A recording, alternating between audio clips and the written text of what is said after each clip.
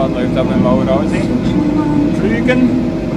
Hier will ich ähm, Eiweißerbsen säen. Morgen, übermorgen oder dann, wenn es geht.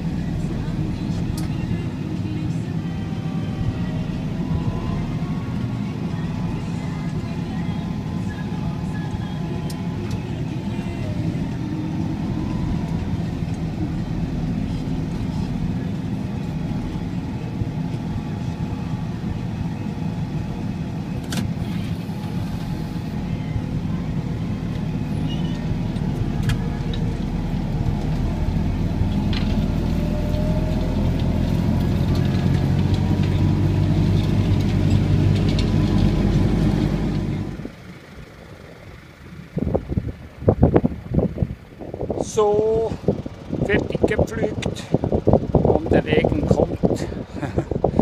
äh, hatte ich jetzt nicht gebraucht, aber jetzt ähm, Wettervorhersage ist ja äh, für heute Abend Regen und äh, spezielle Wetterlage.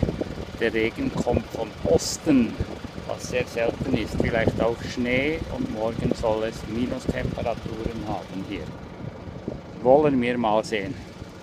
Ja, dieses Stück ist gepflügt bereit, um Eiweißerbsen oder Futtererbsen zu säen. Jetzt muss der Pflug noch äh, grob gereinigt werden, bevor ich den zurückbringe. Den haben wir ja in einer Kleingemeinschaft und der muss immer sauber zurück.